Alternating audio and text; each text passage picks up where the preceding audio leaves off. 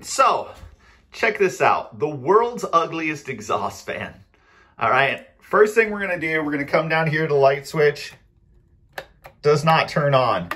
Hey folks, that fix it guy here, and there's nothing like smelling poop when you're doing laundry. All right, I'm in my weird little bathroom laundry room setup, and the exhaust fan has went out and we're ready to tear this down. It already looks kind of ugly, as you can tell. We're to go ahead, we're to tear this apart, and we're to rebuild it, hopefully. Hopefully I can get a new motor for it, and then we're to paint it all up, make it look pretty. So come along, let's get to fixing.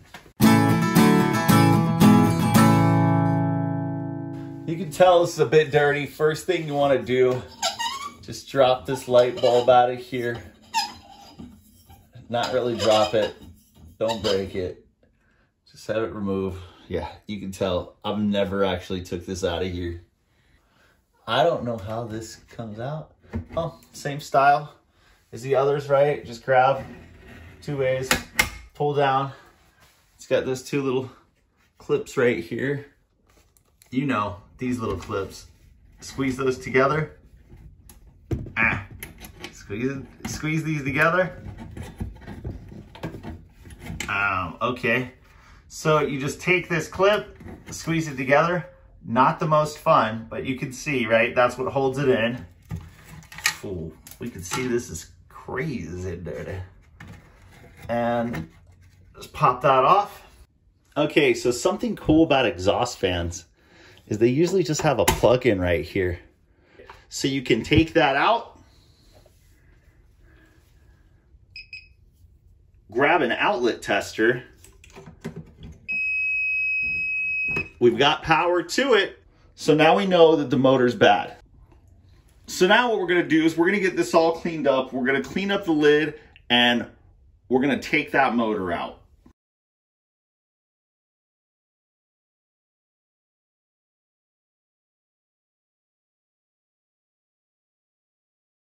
I don't actually know if I can take this out with this bracket on here but there is a Phillips head screw way up there and there is one right here. I, I kind of love these old school fans with this plug, man. Like it seriously is just awesome. And we'll try to take that off. If not, we might have to remove these two bolts right here as well to remove this and then pop that fan and motor assembly out of there. And this whole little bracket uh, once loosened should actually just spin.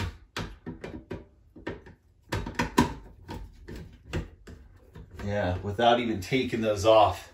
You can see that right there that this has already got some wiggle room.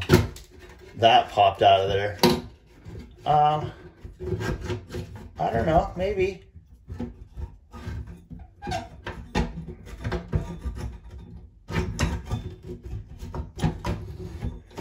Yeah, look at that. Awesome. This whole little thing was just able to pop right out of there without having to remove that. So hopefully we can just get a replacement for this and plug and play. Okay, so there's our hole, that little squirrel cage goes. And if you just come around to this other side, I'm fixing to show you where the information plate is.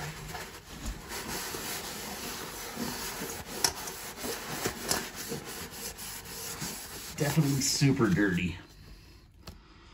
Right, but it's a NuTone. Model 9417D heat event. And we should be able to hook that right up. We should be able to find that no problem. Okay, so I had to run to the store get a new motor. Here's what we're looking at. 44 bucks for this bad boy. I can tell you the cheapest I found this assembly right here was 70 some dollars on Amazon and then 84 bucks at the store that I just bought the motor at. So we're going to actually go ahead. We're going to clean this up. We're actually going to try to keep this and we're just going to change the bracket.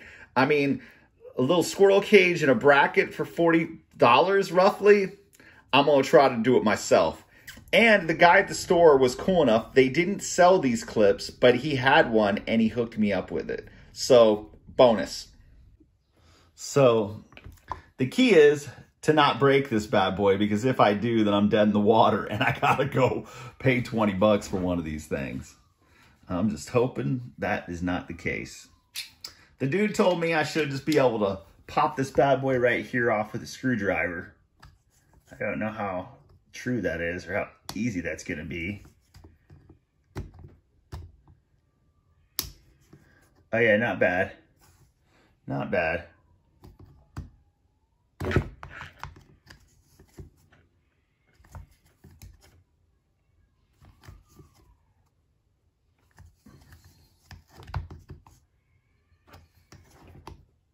Who knows? We might be able to reuse this one too.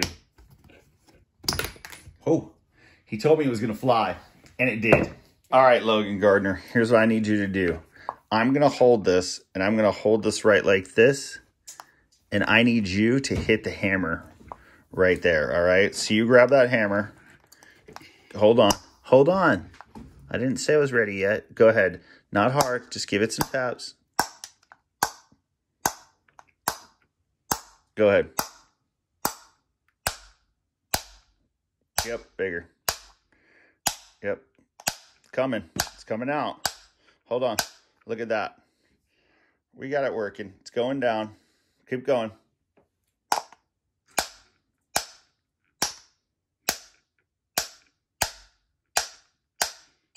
Keep going. Your arm's getting sore.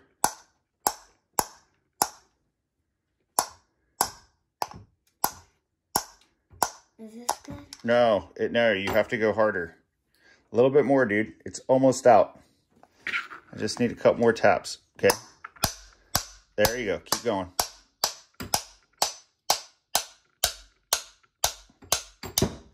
Look at that. Good job, dude. Okay, thank you. Logan fix it to the rescue. Look at that old Betty.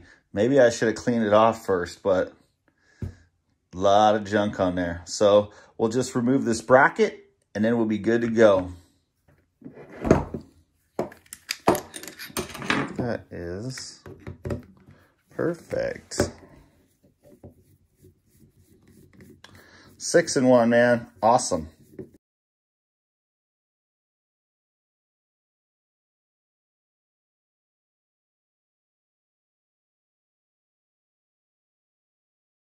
This thing doesn't want to come off there, but it'll unscrew. So that's what we'll do.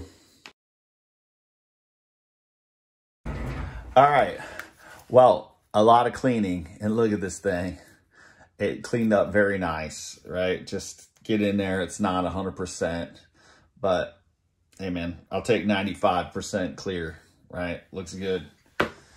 So now it's time to just reassemble. Let's set that over there. Let's get this over here. Let's get this bad boy wiped off. Get it all clean.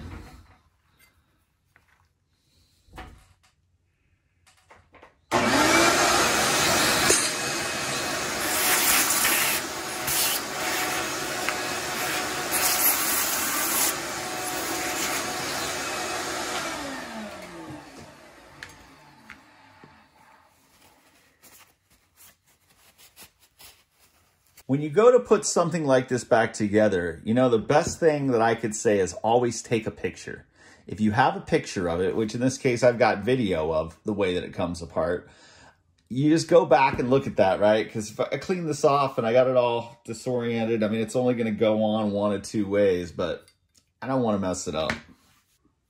Okay, so we're rocking this right here this goes this way. And it's going to sit right down to here. So, get that bad boy on there. And that bad boy right on there. And this and this right on here. Like so.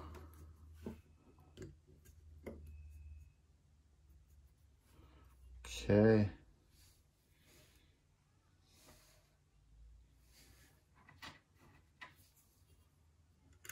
And then that bad boy. And that bad boy. And then these little bad boys, you know, just have that grippy, so they they kind of have like a, a built-in, oh, they're actually not built-in lock washers, but that is a little lock type washer that is stuck on there.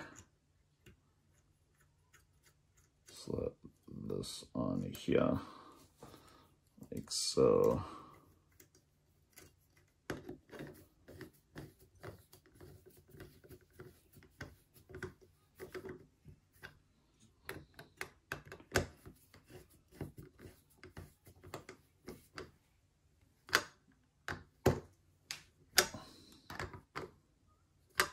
Now we just take this bad boy right here. You can see there's a flat side to this shaft and there's also a flat side to this right there. Just line those up.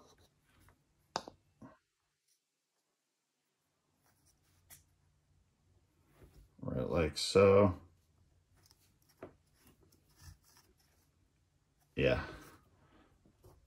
Get that bad boy down on there. It's right to where it needs to be. All right, so hopefully, okay, so, so if we check these out, this is the old, so if we check this out, this is that old compression ring that came off of here, and here is actually the new one that the guy just gave me. Well, this one right here is a little bit thicker, and they're actually like the same diameter right? If I'm feeling that, you look at the gap, there's a little gap on both of them. Um, so I'm assuming they're roughly the same size. And I'm just going to put the old one back on because it really, it had some pop to it when it came off. And I think how we're going to try to do this is we're going to spread it out using some needle nose pliers. Barely get it in into that.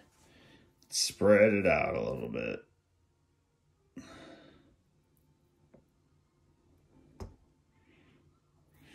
Ooh, close. Oh yeah, we got it. Perfect. And then I'm able to just actually take my thumbs and, ow, take something, get that pushed on.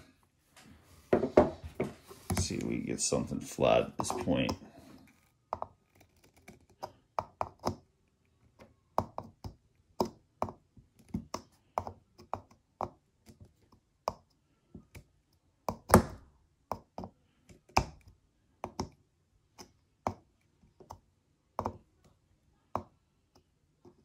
Just, I'm going to just try to get that the whole way down on there. Awesome. Awesome, awesome, man. And so there we go. We're back on. That's really snug. Seems to roll pretty good. And let's go put her in place. Got this bad boy cleaned out. We've got this all cleaned up and put back together. And now we're just going to go ahead and reinstall. Right? And it's going to be as simple as Maybe not so simple. I don't know. It was a little tough to get out of there. But these little notches, right, that's where the screws go. And you're just able to take those, hopefully get them that way, and then just turn it and click it in place. Maybe it's a little bit easier said than done here. The easiest way to do this is going to be take this parallel up to here with that little wheel, get your wheel tucked in there, once your wheel's in place, you can move this whole thing freely. Then you're able to take this, get it in there,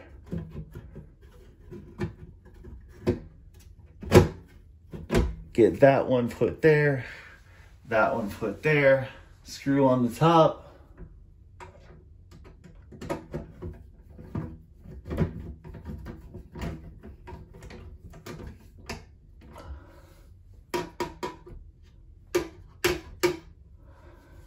Yeah.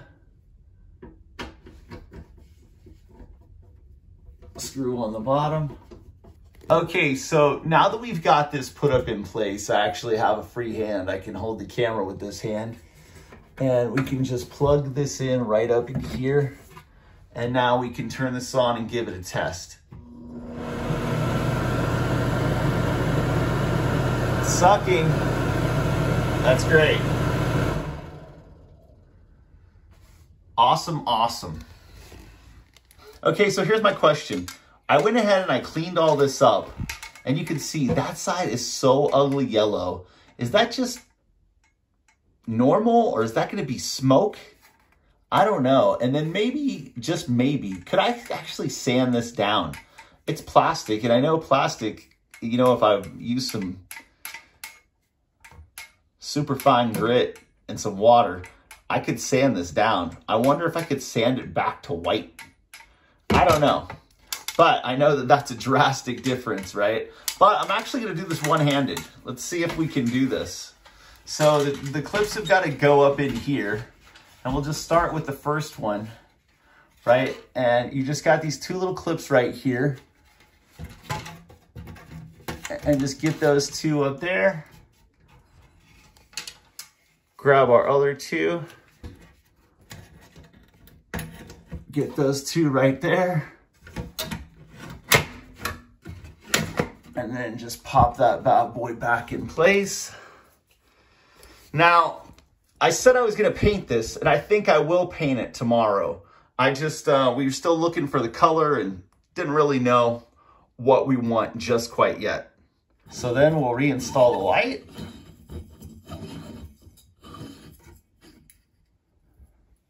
Give that a test. Oh yeah. All right, folks, so there you have it.